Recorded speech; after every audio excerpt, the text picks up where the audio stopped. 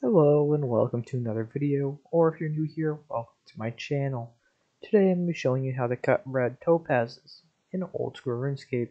So what you want to do is get a bunch of uncut red topaz, and you're going to want to just use your chisel on it.